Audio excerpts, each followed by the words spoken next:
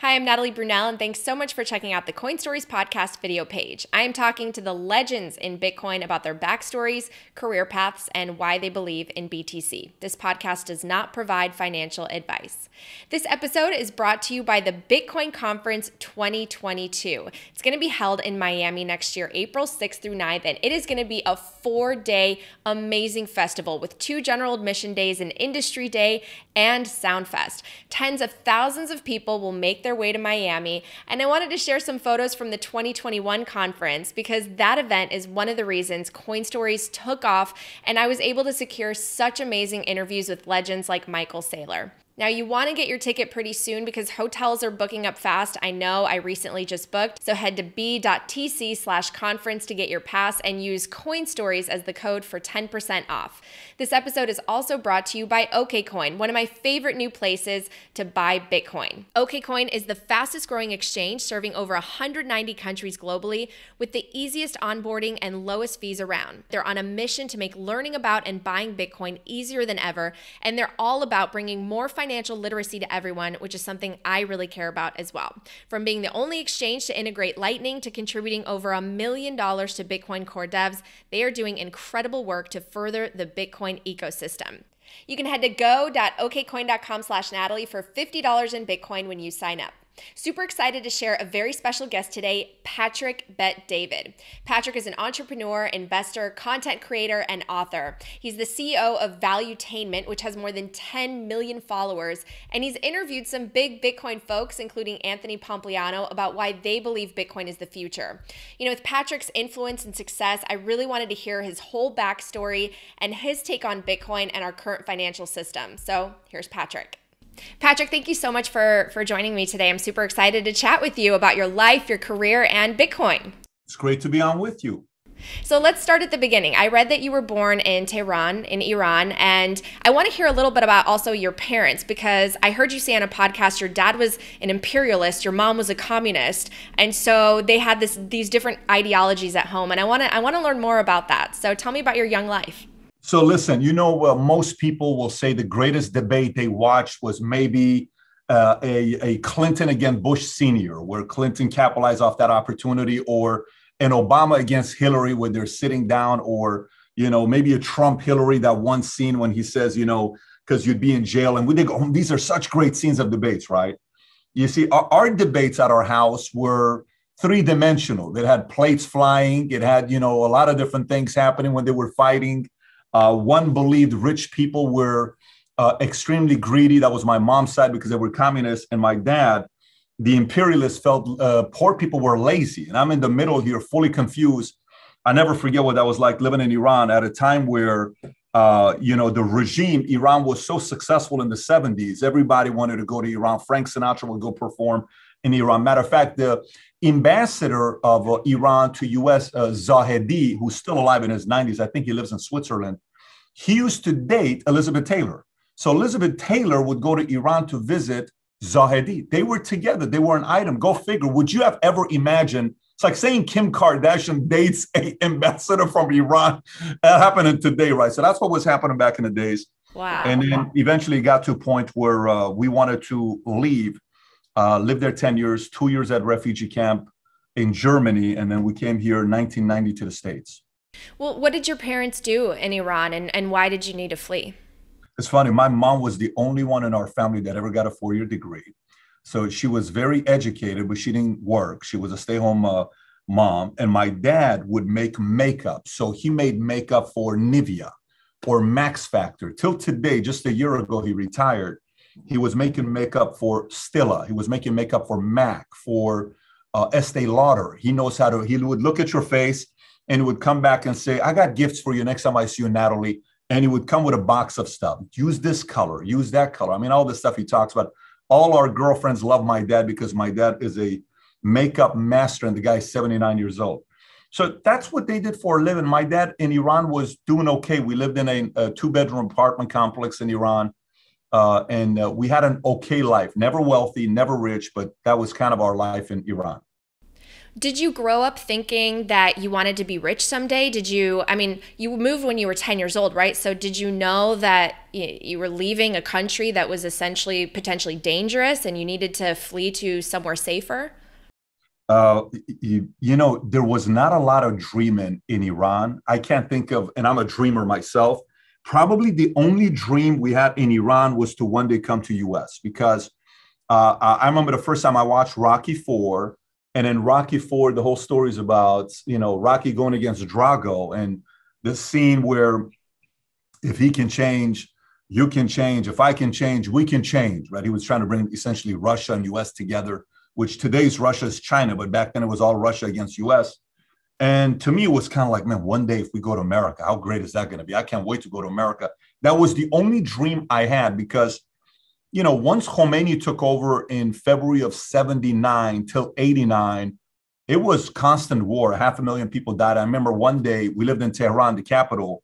We got bombed 160 something times in a day, is what we got in a day. So that whistling sound till today is here. So if I were to tell you the only dream, the only dream was, can we one day make it to America? So the reason why we left is uh, in Iran, when you turn 12 years old, you have to serve the military. In Iran, my mom didn't want that. I was 10 years old. And my mom told my dad, we got to leave. And we escaped. And uh, uh, we escaped saying we're going on vacation. And we just never came back. And then we got our visa and green card and came to wow. the States. Well, so what do you remember from your time in the refugee camp and then actually coming here? Did you guys go straight to Los Angeles?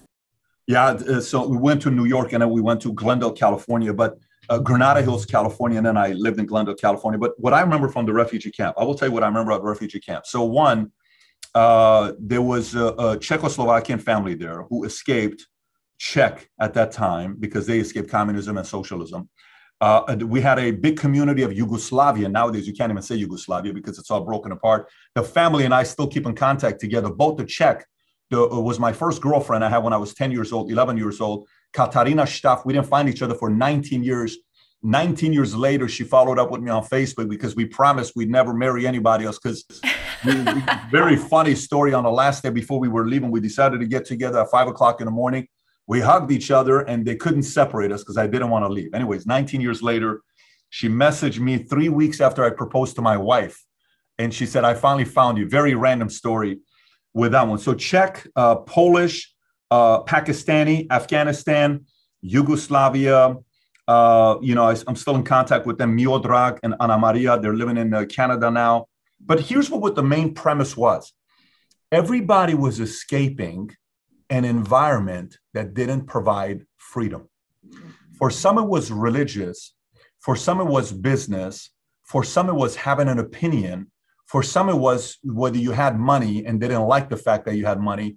But no matter where you were, the main, you know, messaging of escaping was freedom, being left alone. Leave me alone for me to have my own identity. And everybody at this camp that we were living there, my sister sent me a video the other day. She says, Look what I found. I found the street we were living on and the whole place. There was a military camp to our right. There was a US Army camp and me, Yana, and Katarina would go there on a hill and we would watch them with tanks blow stuff up. It was a training camp that they had.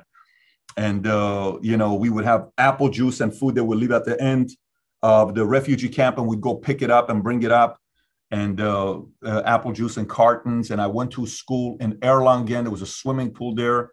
Anyways, that's that's the memories of refugee camp. I learned how important freedom is to everybody from 10 to 12 years old.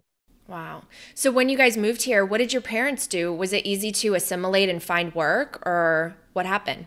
So my dad filed divorce uh, of my mom when we were in Germany. She got served in uh, Germany wow. while at the refugee camp. He filed it from U.S. Pretty ugly situation between the two of them. They got married and divorced twice uh, in 20 years. They got married, and then my sister was born. Two years later, they got a divorce, and then they remarried, and then I was born. 14 years later, they got another divorce, and they're not getting remarried again. By the way, oh my gosh! So yeah, when we came, my mother was, uh, uh, uh, you know, somebody that was relying on the government to support, uh, following the belief system of communism, which the government should take care of us.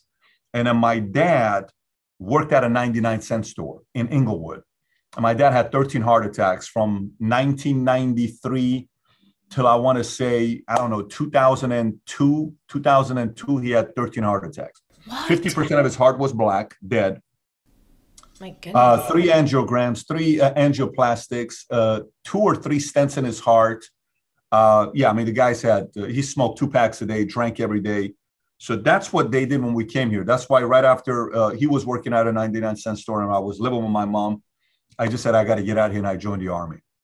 Oh, yeah, that's right. Yeah, well, I remember you talking on a podcast also just about, you know, being in high school. It was such a different time before social media and kids were more social and they would talk and they would, you know, imagine different scenarios. And I remember you saying you you guys loved, you were in a group and you you would ask each other like who would want to be the billionaire, who would want to be the famous singer, who would want to be the president. Um, why did that mean so much to you and and sort of how were you shaped when you were young facing some of the struggle that you did with your family coming here? So when I came to America, that's when I started dreaming. That was the idea. Like, hey, why not us? Why not me? I don't know if it's going to happen to us, but what if? You know, hey, do you want to be Michael Jackson? Would you rather be Michael Jackson, Michael Jordan? Would you rather be the president or would you rather be the richest man, Bill Gates? And, you know, we would sit there and talk about it. But, uh, you know, I was known as the kid that I would, when we would walk back from Wilson Junior High School and we'd go under the freeway on Verdugo, there was a 20 minute walk, 30 minute walk. And I'd have 10, 20 people walking because I'd be telling stories.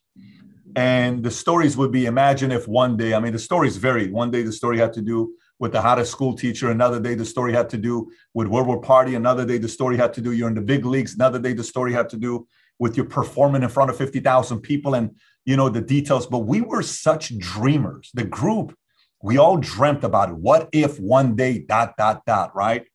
And, uh, you know, like when uh, when uh, Biggie says it was all a dream. I used to read Word Up magazine, Salt-N-Pepa, and you know that that whole idea was us. It was all a dream to us. It was all what if one day.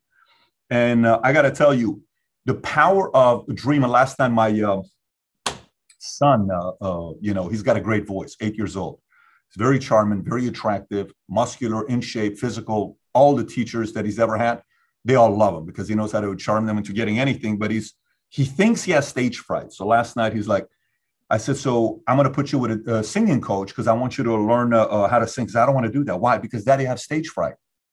And uh, both of them are laying there in bed. It's like nine thirty. So what do you mean stage? What is stage fright? And they said, well, Daddy, it's it's it's when you're on stage and you get scared. You don't know about it because you don't have it. I said, no, I don't know about it because I don't believe in it. I said, it's fake. It's a lie. Who told you this? There is such a thing. Who told you there is such a thing? Tell me. What friend? There isn't such a thing. It doesn't exist. It's fake. There is no such thing as stage fright. You don't need to worry about stage fright. So we're listening to this one song last night because he likes singing it. Uh, and uh, it's it's called Hallelujah by Penta, Penta, I don't even know how to pronounce the group's name. Um, uh, uh, Penta, Pentatonix? Oh, yeah, yeah. Pentatonix. So he's singing and I'm listening to this. I said, How much you like this song? He says, A lot. I said, Do you know how many views this song has? He says, How many? I said, It's got uh, 640 million views. Wow. I said, How many thumbs up you think it's got? I don't know. Give me a number. He gives me a number. I said, It's got 6 million thumbs up. He says, Wow. I said, How many thumbs down you think it's got? He said, I don't know, 74. I said, 176,000. I said, Even as good of a song that this is, 176,000 people don't like the song. So I said, here's what I want you to do tonight. He says, what's that? I said, I want you to go to sleep tonight. Next year, when we host our convention in Vegas at MGM Grand, and we're going to have 15,000 people there, I want you to dream that you're going to sing in front of everybody a song. Close your eyes and dream to that. And I look at his oldest son. He can't sing, but he can talk. I said, I want you to be dreaming about giving the best speech you've ever given next year at 10 years old. You'll be 10, you'll be eight. You're going to sing, you're going to perform. Close your eyes, dream about it all night. That's what I want you to do. And then I go downstairs. My dad is downstairs. It's me, my dad, Mario, Jen. We start talking about dreaming. And you know, you know, my dad, you know, hey, what was the conversation like? I said, you know, it's crazy. I said, most of us eventually stop dreaming because we don't believe this is possible, right? I said, do you know what allowed me to go through all these difficult times in family, personal life, whatever it was? What's that? I lived in a la la land. Like I lived in maybe even if it's this much of a chance of this thing becoming a reality, it's worth freaking fighting through it, right? So, yeah, to me, during that time, it was all about the possibility of one day dreams becoming a reality. And that was the fuel tank for all of us. Did you always have this personality where you were a really big go getter and just sort of assertive and confident? Because that's the vibe I get from you. But did you always have that? No. In high school, I never had a girlfriend. I had one girlfriend in senior year. Think about it. I was if I saw a girl pretty like you, I'd walk the other way. I couldn't do it in high school. Be like, oh, she's too hot for me. So I I uh, I I I wasn't secure because my environment wasn't an environment where it was injecting belief. I still had to figure out whether I had the goodies to win. I didn't know if I had the goodies to win or not. My grades in high school were 1.8 GPA. If wow. you right now were in my office standing right next to me, I don't know how tall you are, but I'm six four and a half, 254 pounds, and I'm about 15% body fat. So I'm a pretty big guy and I train. I've been in good shape till about since about 14, 15 years old. I've never played organized sports ever. I've never played high school baseball, not high school football, not high school volleyball, nothing, even though you would have seen me towering over everybody else in high school because I was a pretty big guy. I always had a job afterwards so for me, when I went into the military, probably the best thing I did is I, I was independent and I was around a lot of different people. And you had to learn how to deal with different personalities from different places. And at 18 years old, it's when I saw a girl like you, we're probably going to exchange numbers and go out. That changed in high in, in military where confidence came because I was like, no, we can deliver and everybody else is equal. And you, you, you don't need to be intimidated by anybody else because we can go do something big together. Probably the high level of confidence, I'd say, came 12 months after being in the Army at 18 or 19 years old. Hmm. That's interesting. I actually tweeted today that I, I'm a true believer that confidence comes from overcoming struggle. Like you have to go through the hard stuff because it just it builds the bricks and it's a solid foundation after that. And I noticed it about a lot of immigrants because my family came from Poland I never had anything easily. And I saw all the kids around me having nice houses and all that and I was like, "Oh, I have to work 10 times harder because I don't have I don't have help. My family has no connections. They barely know the language." And I always had like a chip on my shoulder, but it helped. It drove me further. And I noticed that about very successful, high functioning people, which I which I love to see. So I see that. I recognize that in you as well. But um why did you want to go into the military? I mean, why not why not go to college, uh, you know, university and and pursue something that's going to make you money? Yeah. So the only subject I paid attention to in school was math. Uh, I was the curve in my calculus class and pre-calculus class or math analysis because everything to me is math. Like right now, I'm looking at you. I'm counting the stuff up here, the screen. Everything to me is math. Uh, my eyes look out from the lens of a mathematician. So I like math. Everything else was too boring for me. I had no desire to pay attention to it. And so after high school, I was working at Burger King at the time and uh, I was going to Glendale Community College. I had four W's because I never went to class. The teacher opened it up and said, How many of you guys just came here from high school? We raised our hands. He says, Well, guess what? What? You don't have to come to class because it's no longer high school. No one cares if you come to class or not. We just get care that you get the grades. I'm like, That's all you have to say to me. I'm not going to come to class. So I stopped going to class. But why? I mean, weren't you weren't you motivated? No, not at all. I had no reason to live at that time. There was nothing there was nothing that was motivating me. The li- life was not an exciting life. It was a lot of annoying. I, I don't even like to talk about the stuff because I don't like people feeling bad for the, the time. It was a very rough part of my life. And I just wanted to get away. And so one day we got into a very big fight in Glendale High School campus, terrible fight, massive, a bunch of people involved. And I came back and, you know, we had a party at the house at my sister's place because I was living there for a couple weeks. And one night we partied in the jacuzzi downstairs till God knows what time, you know, and drinking, hammered. I wake up in the morning. I go outside to get on my uh, 1983 Corolla that my mom left me because I sold my trucks. I didn't have any money to uh, go to Burger King and the car's not there. I'm like, what do you mean it's not here? Maybe I parked. Maybe I forgot. I was so drunk. I forgot where I parked. So I walked all over the place. I'm like, no, I didn't park it anyway. I called the cops. Anyways, they found it two weeks later in Tijuana, where my car was. In that moment, I can't go to Burger King. I can't go to school. I said, you know what? Screw this. I got to make a decision. I called my dad. I said, come pick me up, take me to the recruiting station. I'm joining the army. Came, I went to the uh, uh recruiting station. I told Jesus Guerra, I said, if you can get me to go to the army tomorrow, I'll sign up right now, but I'm not waiting six months. There's no way I can do it tomorrow. I said, then I'm not signing up. After three hours of making calls, I was in the Army two weeks later. I went to Fort, Fort uh, Jackson, South Carolina, and uh, Stayed there for two and a half years. They had a delayed entry program, and uh, things changed very, very quickly when I got out of the army. Well, so talk to me about that. What takeaways do you have? I mean, obviously, I, I feel like I I read something where you liked the structure of the army, and that brought you to another level of discipline, which ultimately helped your business career. So, what were the next steps?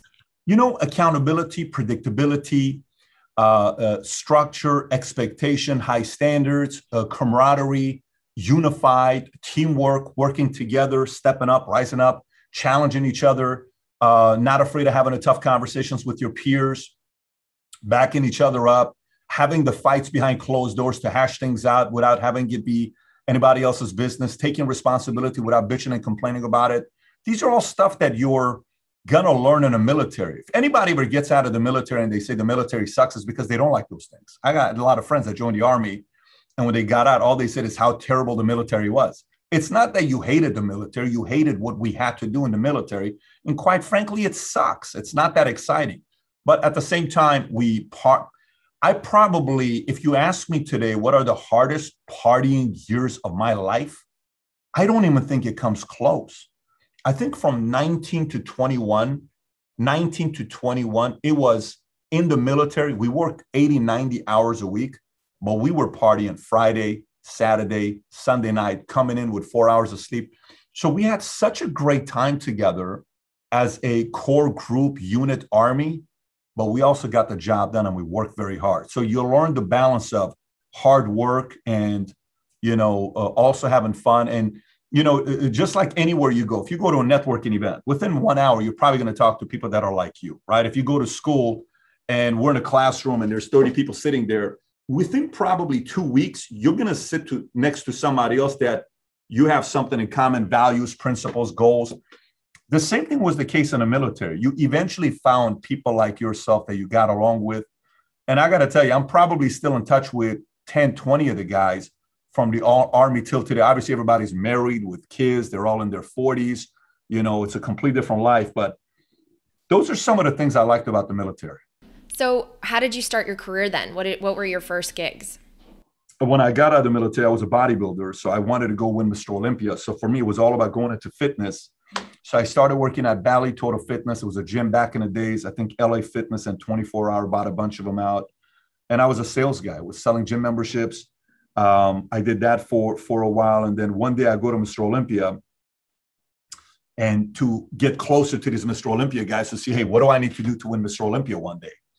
And I go hang out with these guys, and they told me what I had to do with my body and they told me how it was going to be for a guy my height, like what I needed to weigh, like off season at my height, I was going to weigh 350 to 400 pounds. Well, that's not good for your heart. You don't want to be that height because I want to live a lot longer than just 40, 45 years. So one Mr. Olympia, I go there, and on the drive back, I said, I have no desire to win Mr. Olympia. Wow. I made my decision right there. And on the drive back, I get a call from Dave Kirby, who was the manager from Morgan Stanley Dean Witter, who called me and says, Patrick Bet David, even though you don't have a four year degree or a two year degree, we're offering the position to two people. One is you, the other one is Solmaz Rashidi. You can start with us on Monday. You're officially a uh, advisor with Morgan Stanley Dean Witter, 21, 22 years old. Well, how did he know about you? How did that happen? I applied 100 different places. He was one of them that I applied. I got three job interviews, three job offers. Wow. He was one of the ones that gave me the offer uh, Morgan Stanley Dean Witter Glendale, and my girlfriend at the time, uh, Janvier, used to work at Morgan Stanley Dean Witter. So she told me you may want to work at Morgan, and the rest is history. So my first day at Morgan Stanley Dean Witter was a day before 9/11, oh, Monday. Wow. Yeah. Oh man. Well, so what was that experience like? Because that, I mean, that must have given you a crash course in something you didn't really study, right? So you're learning on the go. What did that teach you, and how did you end up starting your own business? So remember, I like numbers, right? So so being an advisor, you know, series 7, 66, 31, 26, life and health, it's all numbers. Everything's about numbers. And I love numbers. So anything that I can be around numbers, I liked. Uh, the, the challenge was how to sell to a market that's affluent. You know, you're because you're coming from a low income to middle income market.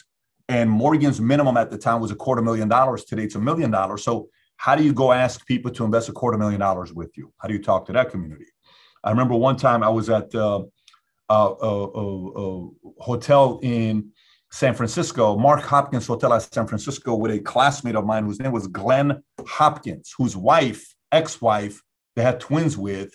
Do you remember the movie American Pie? Yeah. Where Stifler's mom was, uh, you, you know, you know the Stifler's mom situation that would hook up with the other guy. That was his ex-wife. Okay, so Stifler's mom was my friend's real ex-wife with twins. Anyways, really? so this guy, yeah, this guy. If you look him up, you'll see him and his wife.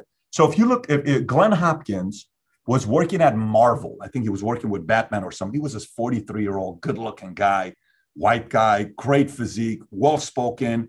So we're in the same class together, and I'm 21, 22. He's 43. So we go in the streets of San Francisco. He says, "Let's play a game together, young PBD." I said, "Yes." Says, "Let's sit at this cafe." We sat at the cafe. He said, "We're going to play a game. Everybody that walks through that door, I want you to tell me what their net worth is."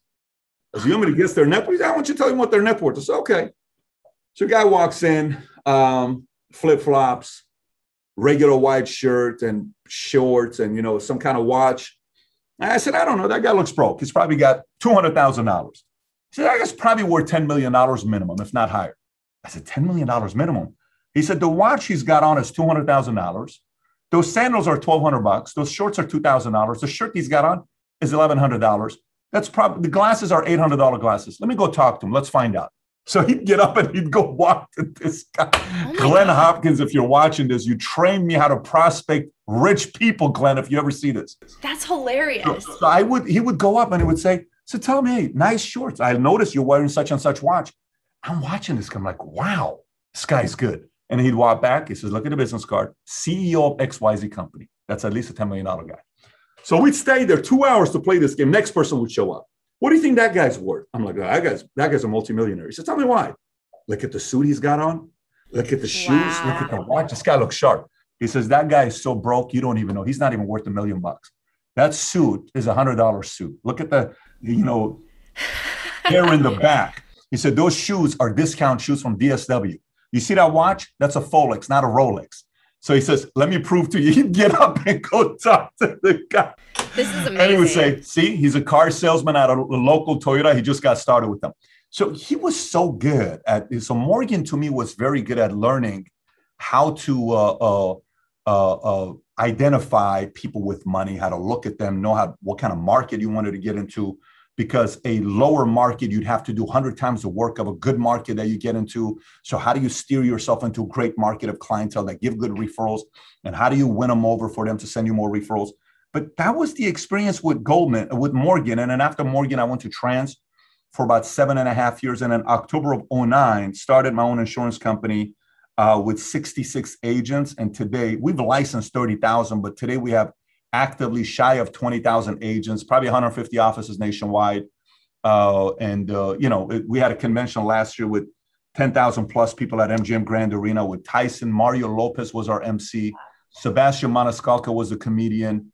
Uh, Nicky Jam performed. We've had Kevin Hart there. We had the late Kobe Bryant. We've had President Bush at our convention. So we've been able to grow that. But it all started off with Morgan Stanley Dean Witter at 21, 22 years old. Amazing. Okay, I want to ask you about that company, but it's so interesting what you said about the the clothes and kind of guessing people's net worth because growing up, I, my family didn't have a lot, but it was like a very European thing, right? You have to dress nice. You got to look like a million bucks. Even if you don't have that, you want to present yourself really, really well, and presentation was very, very important. And then I remember going to school at Pepperdine, which is in Malibu, right? Everybody's got money. I'm, you know, going to going to class with students who are their parents are bajillionaires, and you go to the Country Mart in Malibu, and I'll never forget. I'm like, all these rich people dress like they're homeless. They're like in white t-shirts and the white t-shirt probably costs you know $600 or something and you know ugg boots and i'm like why do these people look like they're homeless they have so much money you know and it's kind of funny okay so how did you move into insurance? How did you go from finance to insurance? Yeah, great question. So one day uh, uh, we had a guy named Shaq who was an advisor, Asian guy named Shaq. He looked nothing like Shaq. He was a five three guy, but a Shaq that was working at Morgan Stanley Dean Witter. We had another girl there. I don't remember her name. She would sell annuities. Shaq focused on 401ks. We had another guy named Ed Malikdom that focused on money under management. Another guy that was a you know, uh, defined benefit plans or whatever he was doing. And then 9 11 happens. Day one is 9 10, day two is 9 11. When 9 11 happens, one of the guys in a corner who was making 700 grand a year within six months, his income went to $80,000. That was a big difference from 700,000 to uh, barely making six figures. And I went and talked to him. And I remember the, the day after 9 11, when we all came back, the phones were all red because everybody was calling and people were afraid to take the calls. And I'll never forget Dave Kirby and the other lady that was working there telling guys, pick up the damn phone. Tell them I'm not there. Tell them I'm not there. Tell them I'm not there. Pick up the phone. People were afraid to pick up the phone. So I said, okay, what do you do? What do you do? What do you do? The people that got the fewest calls were more targeting insurance or things that were a little bit more conservative, not that fluctuating, not that risky. And it was a very easier relationship with the client. You never called for bad news. The only bad news was if they need to activate the insurance policy, which you know you don't want to get that call, but you get those calls. So I sat there and I said, do I really want to have managing? I don't mind my own money being the stock market because I can have my own risk tolerance that I'm okay with. But do I really want to get 100 calls every day of people when the market goes down? Right. They call you. Then when the market goes up, they call you 10 times more. I don't know if I want to be a stockbroker. I'm good with this. So I made the adjustment. I looked at real estate, insurance, 401k, stocks. I said, I'm going insurance and this is what I'm going to be doing. Wow, that's interesting. Just out of curiosity, do you remember sort of making your first million and just become getting to a point where you're like, I'm now financially secure. I'm I've made it. I don't have to worry anymore because you know there's like a sense of worry when you're not financially secure that just trumps everything because it's like you you're burning the oil constantly. So when was that, and what did that feel like? It's crazy you say that. I I probably you know I was a big saver when I figured out the saving part and I would measure. I had an Excel spreadsheet that would track my credit score every month on the 18th. I would update my credit score because it used to be 484, 495, 499. I got it till today, that Excel spreadsheet. And I would track how much I had in a checking account, saving account, American funds, Transamerica, my WRL account, my collectibles, my card collection. I would just keep adding to it, right? So I remember the first, the first life-changing one was in May of 2000 three, May of 2004, May 29th, I come in and I uh, check my uh, direct deposit. I got a $10,000 check that day. That month, I made 18,495. This is May of 2004. I made 18,495. That's the last month my mom or my dad ever reached in their pockets, ever. They never paid anything since that day, right? So that stays with me because my sister came and picked me up with her husband, uh, uh and we went to Vegas to have a good time for the weekend. That was May of 04. I can tell you exactly where I was at. I can give you details, who checked my direct deposit, wow. what that feeling was like. Then from there, saving 50K, every time I uh, tied a goal and an experience to a savings goal. So, you know, I told myself if I get to, you know, $100,000 in savings, I'm going to go to, you know, New York and watch the ball being dropped. I'm going to stay at Manhattan because I want to see that ball being dropped. I remember the first time I saved a quarter million, I bought a Harley Davidson brand spanking new night rod special, and I had no idea how to write a night rod special when it came in. Everything was tied to a saving goal. I hit a saving goal. This guy got a selfish goal. I had a saving goal. So I remember 50,000. I remember 100,000. I remember quarter million. I remember half a million. I remember a million. I remember 10 million. I remember 100 million. I remember all of those numbers, what the feeling was like. Wow. But as crazy as it sounds, the most memorable one is 18,495. Amazing. I love that story. That's super cool. Okay, wait. So at what point did you start to put your your thoughts out there, your experiences out there to build the Valuetainment? I mean, when did that start? And then we'll kind of segue because I want to hear about your your Bitcoin or crypto things. Because that's your world. That's that's your world. That is your expertise. Uh, so Valuetainment. So you know, I was creating content for my own company, the agency, but it was all private. It was not public. So it'd be unlisted, and I would only share it internally with the guys. One day, Mario says, "Pat, why don't we create content uh, public?" I said, "Let's do it." We started doing an episode every week called Two Minutes with Pat. They're still uh, online, by the week. If you want to really laugh a little bit, go back and watch our first episodes called Two Minute with Pat. We did 102 minutes with Pat. I said, I'm going to do one video a week every week for two years. And then if it does okay, there's an audience, we'll continue. If not, I don't want to create content. So we went two years, 100 videos. And the only video that was ever two minutes was the last video. Everything was 11 minutes, eight minutes, nine minutes, six minutes. We're like, listen, we can't do this in two minutes. We're lying to our audience. The joke was, you don't do two minutes. You're like a 10 minutes with Pat, eight minutes with Pat. Then eventually we noticed there's an audience. Then we kind of stepped back. Then, you know, we did a collaboration with Entrepreneur Magazine. We became Entrepreneur Magazine's number one content creator for like two or three years. I was in their magazine on a monthly basis or every other month. So that that collaboration was solid with them. And then we got to 100,000 subs. And then at 450,000 subs, I shut down the channel. I said, I'm done creating content. Why? At that point, I had two kids. I'm running multiple companies. I had no life. And I said, this is just not going to be sustainable. If we do it, it's got to be clear. So we took the channel. Uh, last video I did was shutting down by Valuetainment and we stepped away. And I said, listen, I'm not going to create content. I said, if we come back, it has to be something big, but I'm not coming back. Week went back, we didn't come back. Two weeks, three weeks, four weeks. Eventually, one day I'm sitting there feeling like a genius. And I said, you know, what do we do? The, the, the company, you know, uh, we provide value, we're entertaining people, and it's becoming a movement. What if we name it Valuetainment? Because everybody calls their channel by their name. I don't want to call it by our name. I want to build a media company. Let's call it Valuetainment. So I said, I guarantee no one's got this name. Well, we go to valuetainment.com. We realize it's a publicly traded company on the stock market in Germany. I'm like, you gotta be kidding me. So I reach out to the CEO guy named Dirk and I send him a message. I say, hey, we'd love to buy your domain. And he says, uh, what do you mean by your domain? It's a publicly traded company. I'm not selling you the domain. It's our company's name. I said, sell it to us. I want to buy it. He said, I'm not selling it to you. Anyways, he finally says, here's a million bucks. If you pay it, I'll sell it to you. I'm not paying you a million bucks. I said, but I promise you, I'm going to flood the internet with content around valuetainment and you're not going to like it because they're going to think you're mean. So just be ready. He says, I'm not selling it to you. Anyways. Oh my gosh.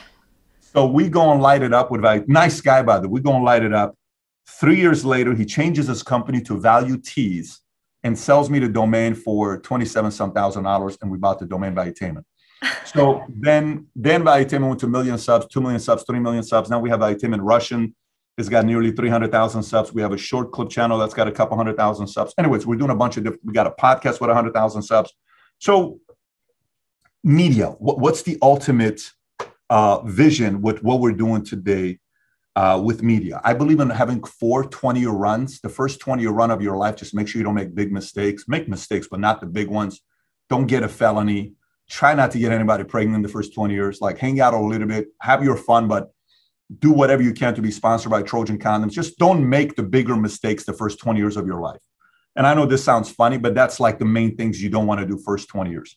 Yeah. Second 20 years, if you're lucky and you can find one industry to go on a 20 year run with, not a 10 year run, not a five year run, not three years. Everybody wants to go on a one year or three year run. All the big guys are 20 year runners. I don't want to go on a five or 10 year run. I want to go 20 years. So I said, 20 years insurance, this is what I'm doing. My 20 years is officially up two months ago, by the way, just so you know. It's been 20 years, two months ago. So I said, I'm going to go 20 years. Okay. The next 20 is going to be creative. So, first 20, make your money. Second 20, creative.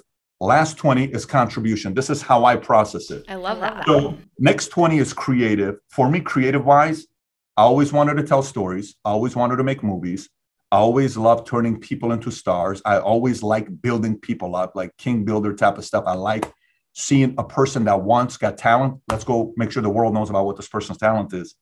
And then I'm not seeing what's going on. I'm not liking what's going on with America today, where a lot of people are actually questioning capitalism. Like Elon Musk is enemy of the state number one for what? Because he's got a net worth of $300 billion, created $2 trillion of wealth, which means another $1.7 trillion of wealth has to be created by other people for other people.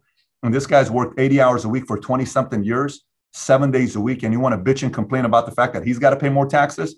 And quite frankly, 1% of America right now pays 40% of all the American taxes. Yep. And top 10% pay 70% of taxes, taxes. And we want to demonize a small business owner that had a shitty life the last 18 months where they had to keep paying money to people that kept seen as the uh, enemy because the small business owners employs 49% of American workers today in America that the restaurant that's got 22 employees that can't afford margins to increase you increase minimum wage to 15 bucks an hour the guy has to increase the hamburger from $8 to $12 yeah i want to protect that small business owner that's doing their part i want to make sure that person he or she they sacrifice their 401k their salary to go start a small business i want to make sure the world knows how big of a hero they are look there's patriots which is veterans and military folks then there's patriots who risk their steady salary to go start a business it's very hard It's very difficult. Many times it leads to heart attacks, anxiety attacks, divorces, losing everything, going back. It's not an easy uh, situation to be. So, a part of valuetainment, here's what we say when we hire people we don't care where you stand politically. We don't care where you are with your sexual orientation. We don't care where you are with ethnicity. We don't care where you are with anything. But you got to believe in capitalism because that's the foundation thing about working at PH at Valuetainment. We believe in capitalism. We believe that is the way to solve 90% of the world's problems. So, anyways, that's kind of the whole thing from a YouTube channel to a media company that it is today. I love that. I love everything you said. I completely agree with it. I'm a huge believer in capitalism. It's one of the reasons why I'm very passionate about Bitcoin. And before I ask you about about Bitcoin and when you heard about it first, just out of curiosity, why do you think we're headed in this direction in this country? I mean, we were founded on the principles of capitalism and self-determination and freedom, and here we are just basically people walking up to the government saying, "Handcuff me." I don't I'm good with that. You know, I don't I don't want to make the decisions for myself anymore. And it's like they're they're allowing freedoms to to be eroded. Um, we're becoming more and more dependent financially on the government. It's it's just I can't believe that in America we're headed in this direction. This is not the country that my parents envisioned when they wanted to come here. Yeah, I, I agree. We're on the same page there. And you know, here's what I would tell you. So my experience has been the following. You got four kids, okay? Typically, out of your four kids, one of them is going to be extremely independent. You don't need to do anything for the guy or her. She'll do it all herself. Then another one's going to be needing a little bit of help, but he or she will get it done. Then one is going to need help, but there's going to be one out of four that's going to be a big complainer. Okay. That's going to be complaining about that's not fair. You know, the word kids use that's not fair. That's not fair. That's not fair. The independent guy never complains. He just does his job. Mm-hmm. So, America today, unfortunately, we are seeing the talent of complainers. They are louder than those who just get the jobs done. See, the people that get the job done, they typically don't need all the attention in the world. They just go get the job done. Just leave them alone. But the problem with the people that want to be left alone is if you don't voice your opinion and what you stand for, and complainers do, even though there is a hundred thousand of you and only 500 complainers, but the 500 complainers are screaming off the top of their lungs, and out of the 100,000 doers, only five of you are raising your voice about how hard you're working and the power of being free, the 500 complainers will whoop your ass because you're so quiet. So, so many people that have worked hard and have had their dreams become a reality, they are almost afraid to talk about their dreams. Yesterday, I'm at this church that we just, you know, got involved in. And I'm, I'm very selective about going to church and all this stuff because there's certain things about the church that uh, uh, rubs me the wrong way, even though I'm a Christian myself. I'm, I was an atheist for 25 years. I'm a Christian. I raised my kids with strong uh, uh conservative uh, fundamental values because that's what I think is the highest success ratio for my kids to live a good life. So, anyways, we go to this church, and at the end of the church, uh, the pastor is given a message about the fact that you know the whole thing with the camel, the needle. You know, rich people, you're not going to go to heaven. You're not going to take your stuff with you, which is absolutely right. You're not. So at the end of it, one of the guys that's a trader there who does pretty well for himself knows I bought a $1 million Ferrari. Okay. He knows I bought this Ferrari. And after the church end service, he comes up to me in a snobby way and he says, So, how's your Ferrari doing? He says to my face. Okay. So I look at him, I'm like, Car's doing good. How's your family? Please give them my best. Right. And I walk away. So comments like that to others makes them feel like it's better to be quiet and not mm-hmm. tell the world about how hard you're working. Today, people like Bernie Sanders have scared the shit out of entrepreneurs that they're afraid to talk about the dream life that they're living today. The mm-hmm. back in the days, it was like we I, we admired the guy that wanted created a job, the woman that started a business and now became this. Today, it's like, look at these wealthy people. Look how bad they are. I think the entrepreneur and the capitalist need to figure out a way to deliver their message and the message isn't just tied to Ferraris and Lambos and Porsches or all that other stuff. The entrepreneur needs to tell the story to realize that top 1% of America pays 40% of all the taxes. The top 10% of America pays 70% of all the taxes. So every pretty much entitlement program, military, whatever you think about healthcare, all of that is paid by the top 10% of taxpayers. So no matter what rhetoric anybody gives you, that's what's going on with taxes. And entrepreneurs and capitalists need to also tell the, tell the story of how hard it is, how tough it is, why so few do it, the sacrifices, the anxiety attacks, the heart attacks, the panic attacks, the long nights, the dates you didn't go with your kids, the days you miss with your kids, all of that stuff to start a business. And now you got 180 people that got a job. Yeah, that guy's a hero. Sam Walton was a bad guy. Why don't you go try to get 2.3 million people jobs worldwide? You go ahead and do it. Oh, uh, Jeff Bezos is a bad guy. I don't really know what Jeff's politics are, but if you can get another person that can go create a company that's going to provide a half a million jobs, give us 10 more of those guys because taxes go down anytime an entrepreneur creates jobs. So I got a I got a problem where with the direction America is going today, and we we kind of want to voice our opinions a little. And by the way, I, I I'm I'm uh, people are not too happy with some of the stuff I talk about, but we're gonna stay um, pretty lit for quite some time. Yeah, but I think the people that aren't happy, they really just don't understand how economics work. And they blame capitalism on the problems that government is actually creating because they really don't understand how the system works. They don't know the Cantillon effect or how money printing actually functions. And so, um, you know, everything that you just said actually reminds me of a fascinating speech I heard about a week ago at a conference I went to for Bitcoin. There was a, a great speaker, his name's Alex Svetski. He's a writer. And he talked about how um, society's divided into three groups the remnant, the masses, and the parasites, essentially. And I'm, I'm probably going to butcher this, but this is the takeaway I got. The remnant is, is a very small percentage that creates all the value. They're the entrepreneurs, they're driven by freedom and, you know, fulfillment and wanting to make a change and work really, really hard. Then there are the masses. That's the majority of people Unfortunately, some of them are sheeple. They're just basically looking for where they should go. They want to be led. They're looking for direction from someone that can guide them. And then there are the parasites. And the parasites are failed remnants and they're resentful of the remnants. And so what they do is they rile up the masses and they go, they're the ones causing your problems. You're unhappy because they're the ones getting away with taking your money. They're, you know, they're taking advantage of you. Come with me. We'll get back at them.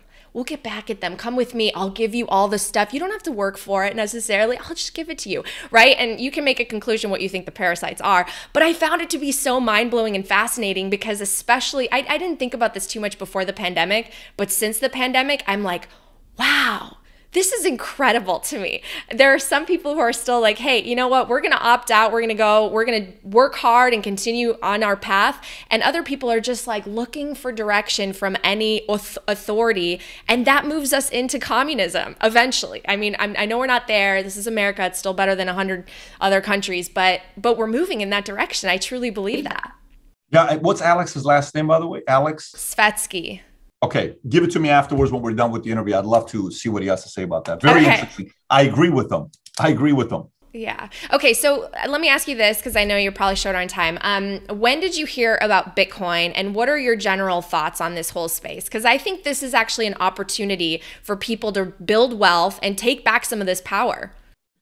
Yeah. So Bitcoin, uh, the moment I started creating content is when I started hearing about Bitcoin. So go back to uh, 2012, 2013, you know, people are talking about Bitcoin, cryptocurrency, all this stuff. Like, okay, let's see what's going to happen with this. And, you know, it, it, wasn't all positive. If you remember at the beginning stages of it, there was a lot of negative things to it. And uh, it, even experts who claimed they knew how it worked, they had no clue how it worked. There was only a few guys.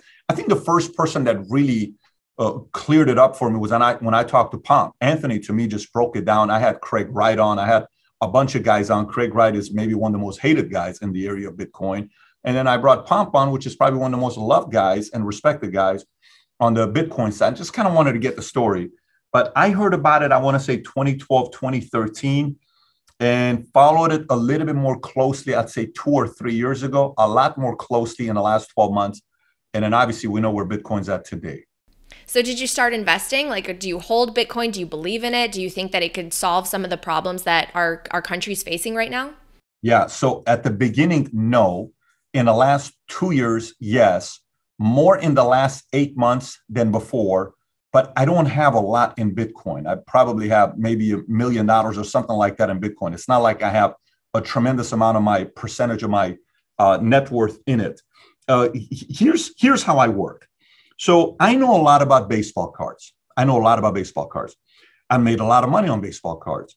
Uh, I have probably, you know, give or take high $8 million, maybe low $6 million worth of collectible cards. That's what I have. I and I never lost money on cards. If I buy uh, older cards, you just don't lose them, especially if the athlete is no longer here with us. You know, if you buy younger athletes, there's a lot of risk to it. But I know cards. Uh, you know, when you look at Bitcoin and Ethereum, if you make the argument for Bitcoin, I mean, it, you can't debate Bitcoin nowadays. It is what it is. If you're going to be a believer of NFTs, you have to believe in Ethereum. You just can't fight that either because the NFTs are linked more with Ethereum. We saw what happened last week or two weeks ago with Zuck and talking about the meta world, the meta space, all this stuff. I remember when I interviewed Metakovan. Meta Koven is a guy that bought Beeple's uh, every days for I think $69 million, right? And I interviewed both of them the following week. And Metakovan was in Singapore at the time. I said, Why would you buy Beeple's every day? He says, What do you mean? He says, Are you kidding me? Of course I would buy it. I said, But tell me why you bought this. He says, Look, one day you're going to come to my virtual museum. And to see every days at my virtual museum, you're going to have to buy a ticket. And I'm the only one that owns Beeple's every days. And you're going to have to come to my virtual museum. He says, And one day there's going to be virtual real estate, virtual waterfront properties, virtual this, virtual. Like, what is this guy talking about? He says, but that is the direction we're going. And they're absolutely right. I remember playing video games back in the days and it was virtual. There was a game, I don't remember what the name of the game was, but it was a first game which was like a, you're living in a different world and it was so cool playing the game. Um, look, it, it, we were having a conversation where people were debating about this whole thing with meta and all this other stuff. I said, look, let me put it to you this way. I read a book one. I read a magazine one time by Time. Time magazine cover says, you know, how uh, millennials are narcissists. This was like six years ago, five years ago. And the guy's talking about all millennials want to do is take pictures of themselves. All they care about is how many likes. All they do is this, this, that. He says, but here's the reality of it. If you think millennials have no clue what the hell they're doing, maybe it's because you're just getting old and you are old. Accept it. What that means is if you fight Bitcoin, NFT, Ethereum, crypto too much, maybe you're a little old. If you fight uh, the meta world, maybe it just means you have a hard time with change because change is here and you ain't got a choice because the next generation, the 14, 18, 24 year olds, the 30 year olds are leading the world in that direction. And there's nothing you can do about it. They have so much control and experience over that that you either have to adjust and learn how to adapt and pivot and make your business in a way that's going to work in that way, or you don't. So, to answer your question for you, I don't think it's going away. I think it's here to stay. But the only enemy you will have here's the enemy you will have. Uh, a guy like Jamie Dimon's not a fan, right? And seven trillion dollars of money gets transferred. You know, they touch seven trillion a day. Chase does every single day. It's a lot of money to touch. Uh, Yellen is not a fan. Okay. Uh, uh, Biden's camp's not a fan. Elizabeth Warren, not a fan. Some of these guys are not fans because they're driven by regulation and control, and they have a history of doing this for many, many years. Right. The they only, benefit from the current system. Yeah. The only enemy you have is them. If if it's left to innovation, it's there's no stopping it. But if you have only one enemy, it's those guys that are going to be scared shitless of not having any control over it. Yeah, I mean, isn't that crazy to think about though? Like, who's holding the dam back? It's like a few people and millions on the other side potentially. Because at the end of the day, anyone can opt out at any point and go on to the Bitcoin standard if they wanted. And you know, I, I, there's still certainly financial literacy issues going on. People don't understand it, right? So, and it's not the easiest thing to understand. You have to go down the rabbit hole. But I do find it interesting that the amount of people that are actually holding holding it back it's very it's it's a small amount like we overpower them at the end of the day it really is but but here's here's one thing that's different about the Bitcoin community, the crypto community, the NFT community, then the gold community, then the real estate community, then the stock market community. I have to tell you, the biggest factor with the crypto community, they're the loudest. They're so loud because gold community is quiet. Yes, Peter Schiff is loud. Let's just say he's loud. Who else is loud on gold? Nobody else. It's not that many people that are loud on gold. Real estate. Okay, fine. You got a lot of real estate people. Fiat, who the hell is allowed for fiat currency? Tell me who is allowed for fiat currency. Not a lot of people. Okay, stocks, all that stuff. But when it comes down to crypto, they're, they're loud, they're attractive, they're young, they're innovative, they're energetic, they're united. They're a community.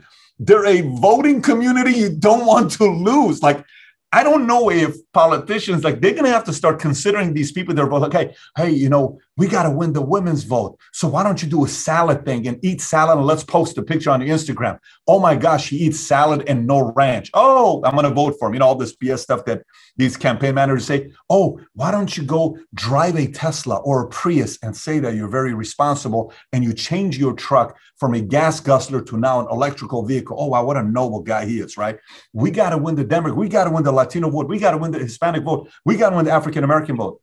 It's very soon going to be, we kind of got to win the crypto vote. So the, the yeah. thicker you get, you have so much power. The thicker you guys, the community gets, it's going to be tough to go uh, against the crypto community because if they do, they're going to lose a big, big uh, community of voters. I don't think they want to do that. Yeah. Okay, so start to wrap up, just thinking back on your life, you obviously now you're a father. I'm sure that you've thought about, you know, how you want your kids to experience life and grow up informed by the way that you grew up. So, you know, we were talking about the metaverse. Do you do you ever have concerns about them growing up in a different way than you did with now digital identities and their their world is basically not even real necessarily. People are not socializing as much. Like, what are your thoughts looking back on your life and looking forward for your kids? Yeah, you know, Mike, you know, look, when when Elvis was shaking his hips, people were scared, right? Like, oh my God, everyone's gonna go have sex together, right? When radio came out or when TV came out or when you know phones came out or when social media came out, it was always what if, you know, what if this is gonna happen? This is not good. They have too much access and all this other stuff. You know, I have a 1976 issue of a Playboy magazine sitting on my desk that I had my assistant buy and the reason why I bought it is because an article written by Jimmy Carter, right? An article written by Jimmy Carter that I'm reading. It's a fascinating article. Uh, but Playboy's changed. This used to be the magazine. Why would you subscribe to Playboy today, right? People were scared. Porn is online. Oh my gosh, it's so much access. You know, people are watching porn. So this was a fear for a lot of people that what porn's going to do. And then you have robots. What if we marry a robot? What if one day robots take over the job? And that's been happening as well. There's not really much we can do about technology and innovation. You know, I think the biggest challenge for me and my kids is is trying to understand the current uh, era, and if and if we as parents cannot understand what it is to be them, you're going to lose them. I mean, it's even more pushback if you don't understand their world. So we mm-hmm. got to be more involved. We got to be more collaborative. It's got to be more. Tell me why you like playing this video game. What do you like about this part? Educate me. I want to learn a little bit more about why you like this and then you try to steer versus you can't do this because I think if you do that, you're going to lose them even more. Things are moving very fast. Things are moving very quickly. Parents also have to uh, be involved probably more than ever today, more than ever before, because there's access for wrongdoings to also take place today. So if a parent's too lazy, could happen to you. But if a parent's involved, you can minimize the chances of abuse also taking place. But there's nothing parents can do to slow down this process. Yeah. It's here to stay. Mm-hmm. Well, this question's inspired by Squid Game. I don't know if you've seen it, but I just finished the series, so spoiler alert, everybody. But there's a really interesting part at the end where this guy is talking about people who have money, because you know at the end of the game you you win a t- you win a huge prize, and he said that the very very rich people and the very poor actually have a lot in common. And when you get to be very very rich, things start to get boring. Like you can no you you no longer really derive pleasure out of things because you could do anything you want. Um, is that true? And what are your thoughts on that?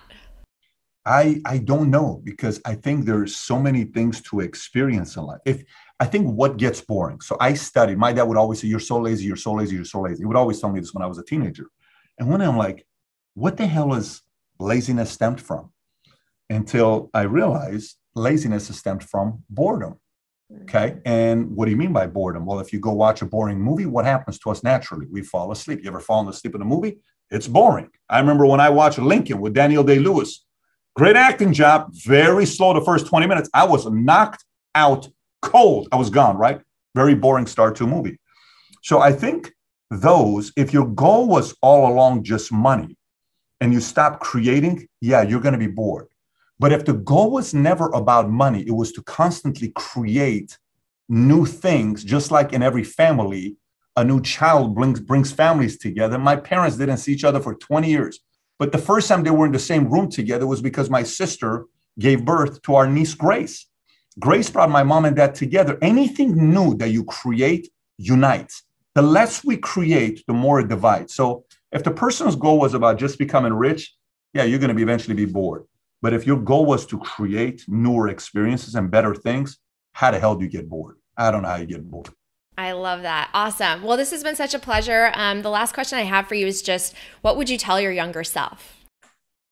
Be uh, aggressively patient. Don't second guess yourself too much. Uh, if you know the vision is real, just go play ball.